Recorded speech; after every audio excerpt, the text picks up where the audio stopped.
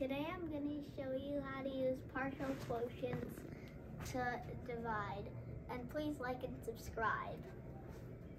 So first, since we know that 5 times 400 is 2,000, we write that over here.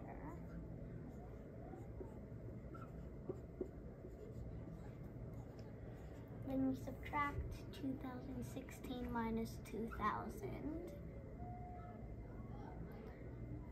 And we get 16. And then since we know 5 times 3 is 15, we write that over here. And then we subtract to get a remainder of 1.